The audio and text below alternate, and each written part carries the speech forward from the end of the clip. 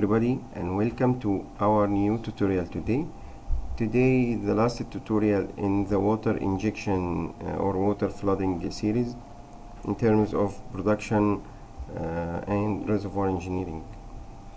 Uh, our focus today is uh, flow or injection fall off test. Very well. Let's start.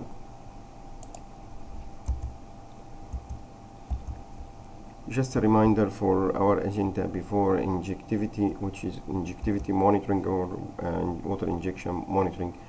Uh, as we mentioned before, continuous monitoring of injection pressure and uh, injection rate, and already discussed earlier in the previous tutorial.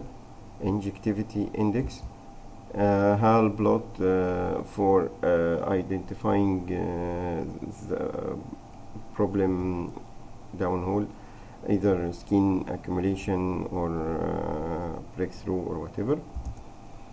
Uh, this is today's uh, item which is transient injection or fall off test. Okay.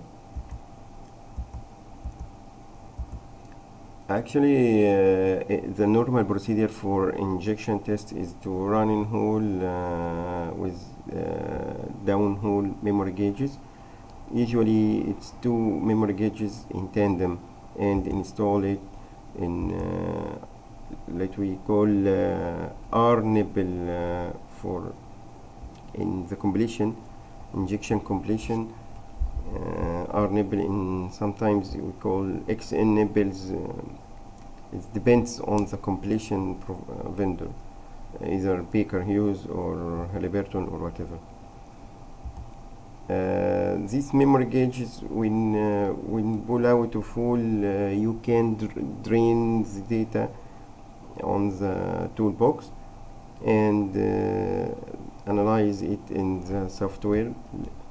We will show you how to do it.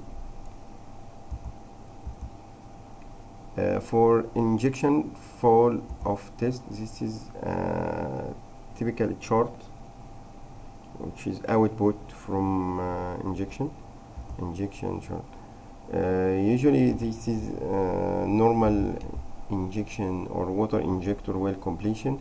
This is as just open end or simple completion.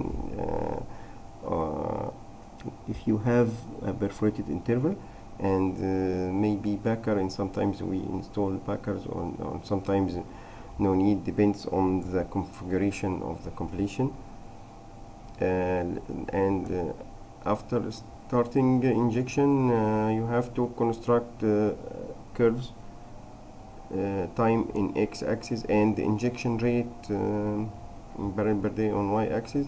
You can do it with uh, injection pump or um, or rig pump or whatever another curve for uh, also time and bottom hole pressure.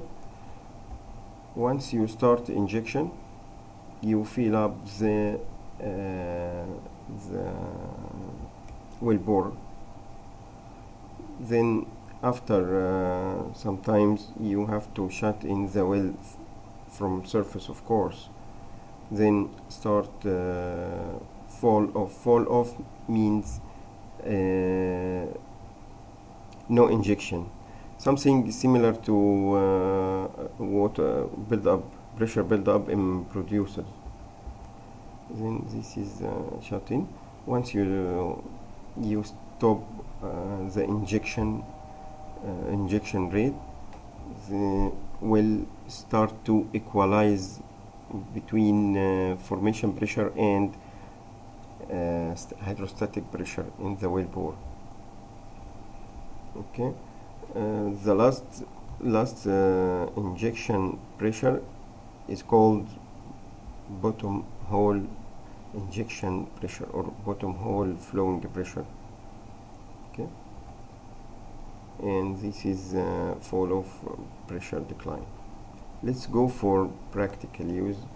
Usually we use um, Saphir software for analyzing any uh, uh, production pressure build up or drawdown or uh, or any pressure transient analysis Uh, usually, you, you, when you receive the data from the website, it gives you this curve uh, pressure versus uh, temperature. Temperature usually in decimal hours, and uh, this is a pre-test survey which is running hole or uh, or no testing.